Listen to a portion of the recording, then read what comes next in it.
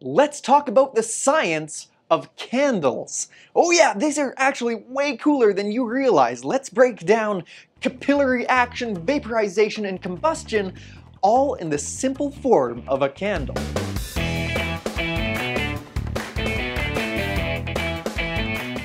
My name is Jonathan Allers, and this is Destructive Creativity. We are here for you, for science, and for fun. So if any of those things appeal to you, make sure you click that subscribe button and the little bell icon so that you are notified every time we make new content, which is about once a week. Before we talk about candles, let's take a look at one of the coolest magic tricks that I've seen using candles, where it seems to light itself using smoke. Let's take a look.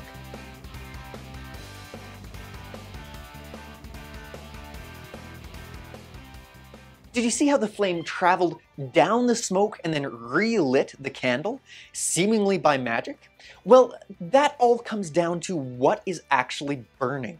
You see, candles are made up of basically long strings of hydrocarbons, which is a bunch of hydrogen and carbon atoms all strung together. And when you look at a candle, that is the hydrocarbons in a solid form. And then when it warms up, it pools into a liquid hydrocarbons in a solid and a liquid state do not burn. We actually need to vaporize those hydrocarbons in order to burn anything at all. So what happens? Well, we light the candle and the wick has already absorbed some of the liquid wax during the manufacturing of the candle. Now the heat of that initial flame vaporizes the wax that is inside of the wick, and that vaporized wax mixes with the oxygen in the air, and we'll get to that later. But for now, the wax has been vaporized outside of the wick, which means the wick itself will start burning, except for capillary action. Capillary action is defined as the movement of molecules in a liquid toward the molecules of a solid. So in this case, the molecules of the liquid wax are literally being attracted to and drawn upwards into the wick because of capillary action. And I'll probably do a whole episode on capillary action later, but for now, you can look it up on your own. But as the wax is being drawn up into the wick, it is also just being vaporized by the flame and the heat. And the same heat that radiates outwards and around is radiating downwards toward the wax, which is melting the solid into the liquid, which is then being drawn up again and completing the process. The candle is actually a very efficient form of combustion. Now, to understand why a flame would leap downwards through the smoke and relight the candle, we have to understand what is happening at each temperature of that candle flame because there's a couple of different colors and each color represents a different process. Let's examine the shape and color of this candle flame.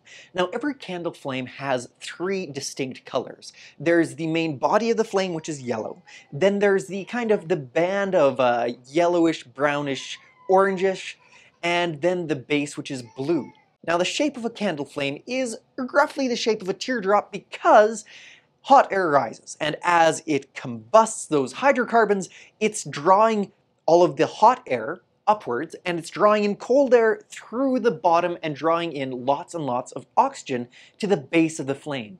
And that's why we get that blue flame right at the bottom.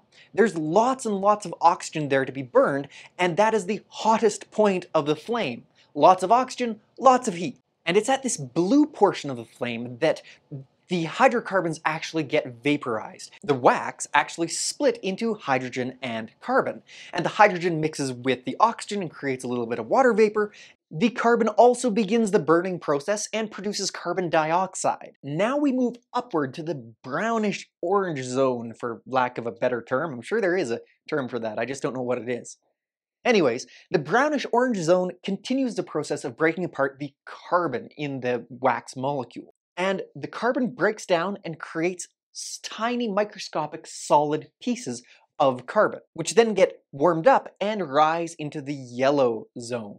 Now the yellow part of the flame is the one that gives candles the ability to give lots of light. It's the carbon particles themselves that are beginning to combust as they move upwards through the flame. And when those carbon particles combust, it releases broad spectrum light, which is visible to our eyes. And because yellow is the dominant spectrum that is released, we perceive the candle's light to be yellowish. Now there is technically a fourth layer of the candle that doesn't really match any of the characteristics of the other ones. It's called the veil, and that's that kind of bluish bluish color that extends from the bottom blue layer and kind of up the sides. That's because there is more oxygen on the outside of the candle flame than the inside, so then it burns hotter. And that veil is the hottest part of the candle flame, which can reach up to 1400 degrees Celsius, which is very, very hot.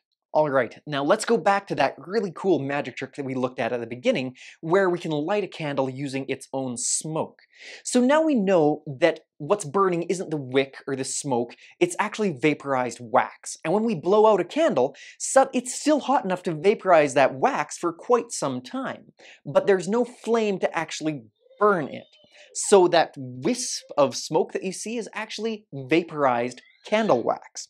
Now when we light that vaporized candle wax, it will burn, the same as a candle, all the way back to its own wick. It's very cool. Now, one other cool thought experiment that kind of proves that NASA is run by a bunch of men is what would a candle look like in the absence of gravity?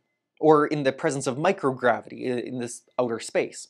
So that teardrop-shaped candle flame is due to the fact that there's an up and a down on Earth. Hot air rises away from the center of mass, and then that draws in the oxygen from around it, etc., etc. So what would that look like in outer space? Well, typically it's bad to start a fire on a spaceship. That's pretty much most of the job of NASA engineers, just to make sure that fire doesn't break out. Well, in the late 1990s, they decided, let's start a fire in space. And they did, and this is what a candle flame looks like in the absence of normal Earth gravity. It loses its teardrop shape completely and looks more like a little ball of fire on a stick. It's pretty cool. Anyways, this is Destructive Creativity. We have new stuff coming out every single week, and make sure you subscribe. Till next time, see you later!